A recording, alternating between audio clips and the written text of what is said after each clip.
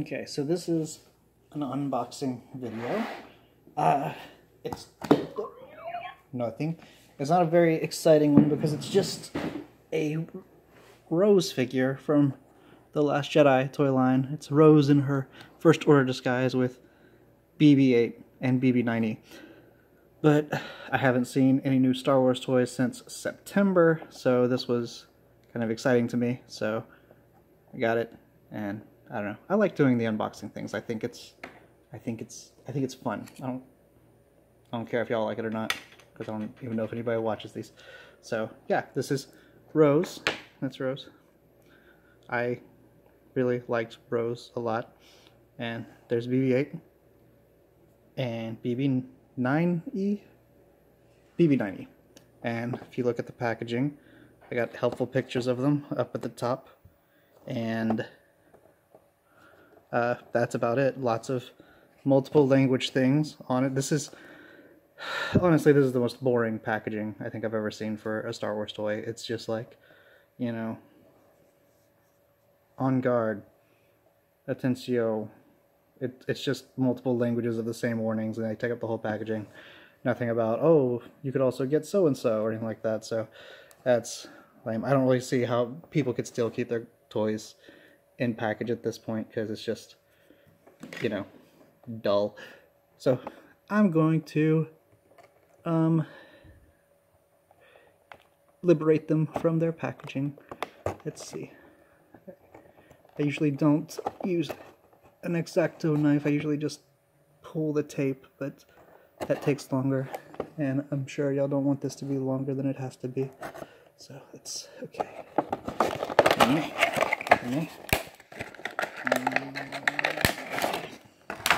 Okay. Is there anything in the packaging? Oh, there's a. Look, I got.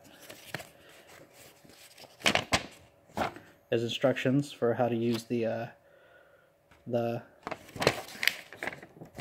force link thing, so that's helpful in case you don't know how to use it. Basically, you tap it and then hold it, so it's not that complicated. Here's the packaging again. Let's get rid of that. Okay, so looks like she's got a little blaster. Oh my god. Come on. Come on, I'm being thwarted by tape. This is this is so embarrassing. There we go. Okay, so let's get out the blaster. Let's get out her motivational baton. Can you see these? Here. There, blaster, motivational baton. Uh, okay. Big gun. Uh,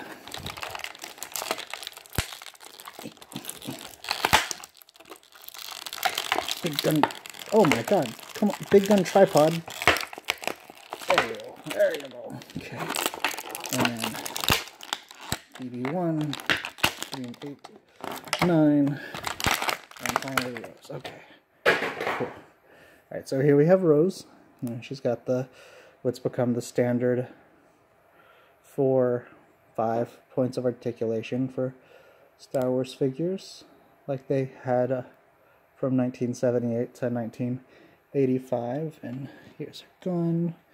Put her gun in her hand. Let's see. There's her gun in her hand pew pew pew pew, which is funny because she's like a pacifist. You know, it's one of the things I really liked about her character. She is not a big fighter. Um, gun goes in the holster, and then she gets her motivational wand. Uh, which I think that's supposed to be like the package doesn't say what anything is because usually it's pretty self-explanatory. But here's a motivational wand. Yeah. So there's Rose, ready to motivate people. And here's normal Rose next to her.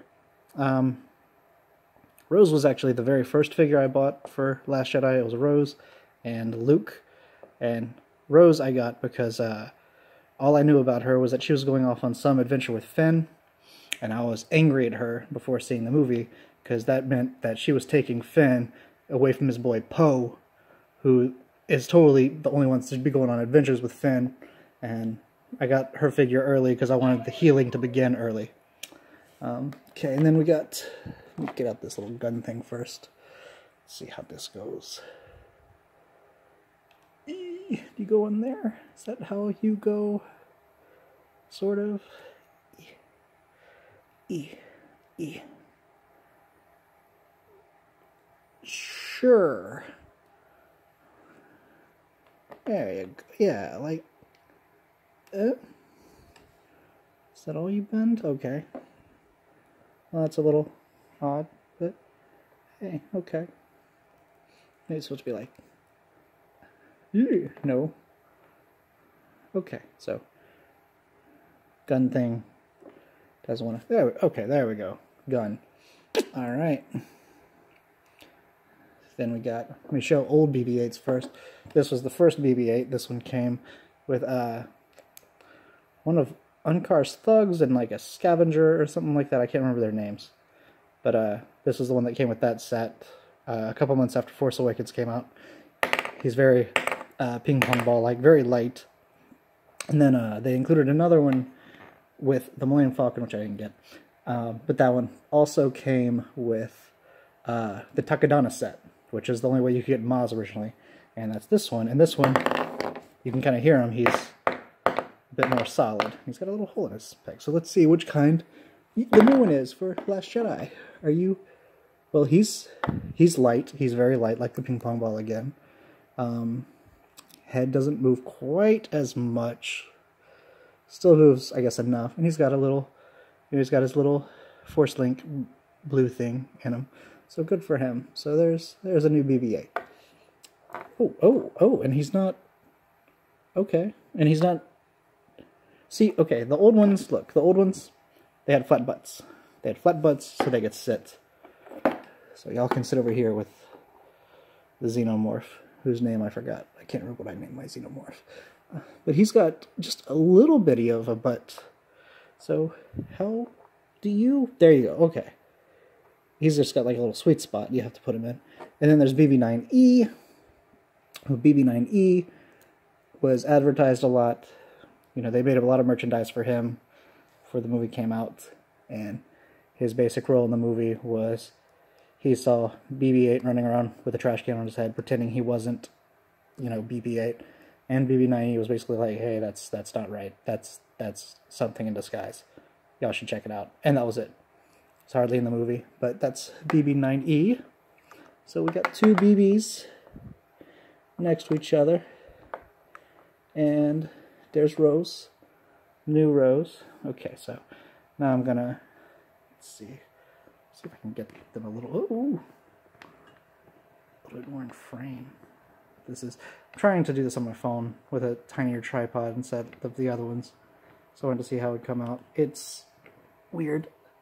Ah, that might work. We'll try that. Okay, so then I use my handy dandy force link thing. Put that on my giant wrist.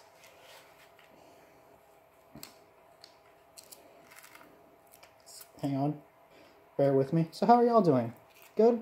Good. It's good. You know? Yeah? Just, uh, have a good weekend? Good. Hang on. Okay, there we go. Okay, I, I there's the force link thing. I, I put it on upside down because I feel like it works better that way. So I'm going to turn on. Turn on. There you go. Okay. Let's see what Rose says. I'm ready for my mission. Okay. Good for you, Rose. Quiet. We have to be careful. All right. Quickly. Stormtroopers are coming. She sounds very calm. Quiet. We have to be careful. Well, yeah, I'm trying. Quickly. Stormtroopers are coming. Quiet. We have to be careful. I think sometimes if you shake them, they make more noises. But they're not. She's not doing it. Quickly! Stormtroopers are coming! Cool. Okay. And then BB-8 makes some sort of sounds. I can fix anything. Oh, that was that was old Rose. That was. I can fix Yeah, anything. she's talking over there. I'll put her aside next to her dead sister. Orders received. That's dead sister. Okay. Oh, that's BB-8. That's also BB-8. Yep, BB-8. Mm-hmm. So you might not know this, but I don't know if he still did it for Last Jedi. But Bill Hader did the uh, some of the vocal stuff for BB-8, or was the influence for him, or something. Yeah. Then this year, or this past year in 2017, he also played Alpha 5 in the new Power Rangers movie, and he was kind of adorable. So I think BB, I think Bill Hader just kind of found a calling in playing adorable droids. So let's put BB-8 there, and evil BB-8. Oh, BB-9E sounds like he's farting. That is definitely a fart. Farty the droid. This is so immature. I should be ashamed of myself. Why am I still doing it?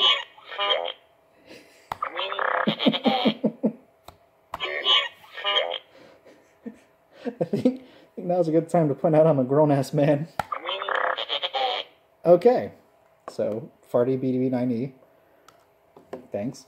Alright, and I'm gonna take this off. Uh, hang on, let me see. I don't think this makes any noise. Ah!